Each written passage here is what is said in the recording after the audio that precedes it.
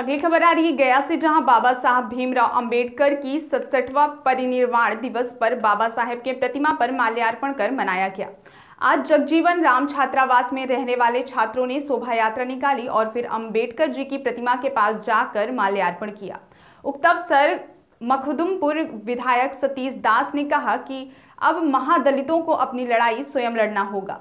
जिसकी जितनी भागीदारी, उसकी उतनी हिस्सेदारी के सिद्धांत पर ही देश में आरक्षण देने की ज़रूरत है।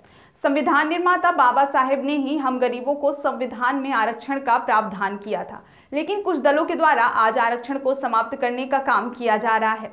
लेकिन हम लोग ऐसा नहीं होने देंगे। वहीं समाज सेवी उपेन्द्र पासवान ने कहा कि आज बाबा साहेब के आदर्शों पर चलकर ही देश महान बन सकता है। उक्त मौके पर कई गणमान्य लोग उपस्थित रहे।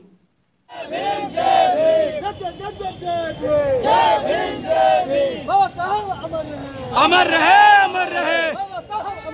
अमर रहे अमर रहे। अमर रहे अमर रहे। जय भीम जय भीम। आज हम लोग यहाँ पे एकत्रित हुए हैं बाबा साहब डॉक्टर भीमराव अंबेडकर का छियासठवां महापरिनिर्वाण दिवस है इस अवसर पे। और हम यही संदेश देना चाहते हैं युवा साथियों को कि हमें सचेत होने की ज़रूरत है, जागरूक होने की ज़रूरत है। और बाबा साहेब के बनाए हुए संविधान जो आज खतरे की घंटी है तो हमारे सभी राजनीतिक नेतागण लोग इस बात को आहट को समझ रहे हैं और संदेश भी दे रहे हैं। लेकिन इसकी समस्या का समाधान क्या है? तो समस्या का समाधान यही है कि तमाम छात्रगण, तमाम देशवासी भारतीय संविधान का अध्ययन करें उस पर अमल करें और इसी के साथ हम एक बड़ा सा संदेश देना चाहते हैं कि भारतीय संविधान का प्रियम्बल में पहला लाइन लिखा हुआ है we the people of India India that is Bharat. मतलब हमारे संविधानिक देश का नाम इंडिया और भारत है न कि कोई अनदर नाम है। इसी के साथ अपनी वाणी को विराम देते हैं। जय भीम सर। मेरा नाम उपेंद्र पासवान गया के भावी मेयर प्रत्याशी। पुण्यतिथि है। इस उपलक्ष्य पे हम लोग गया के अंबेडकर पार्क में मौजूद हुए हैं। सभी लोग आए हुए हैं छात्र लोग। सभी को मैं अभिवादन करता हूँ। और बाबा साहब के विचारों को जानने की ज़रूरत है। जिस तरह आज देश में समस्याएँ आ रही हैं और ज़रूरत है बाबा साहब को ज़्यादा से ज़्यादा जानने की और कॉन्स्टिट्यूशन के बारे में जानने के लिए। इसी के साथ मेरा नाम Kundan Kumar KD peoples party of India जिलाध्यक्ष गया।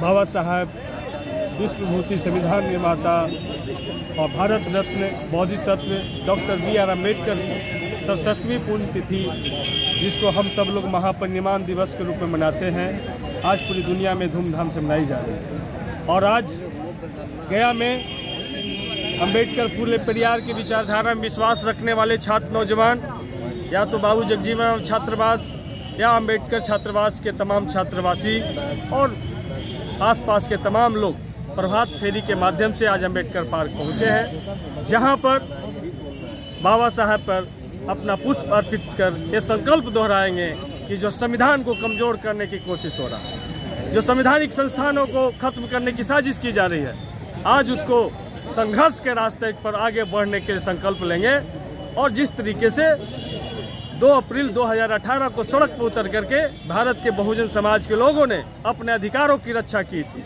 उसी तरीके से संविधानिक संस्थानों को बचाने के लिए हम सब बहुजन समाज के लोग सड़क पर उतर करके और जो बाबा साहब का जो सपना था कि एक ऐसा भारत जहाँ भेदभाव मुक्त भारत हो, एक ऐसा भारत जहाँ पे जिसकी जितनी संख्या भारी उसकी उतनी हिस्सेदारी वाला भारत बने, उसको बनाने के लिए हम सब लोग संघर्ष के रास्ते पर आगे बढ़े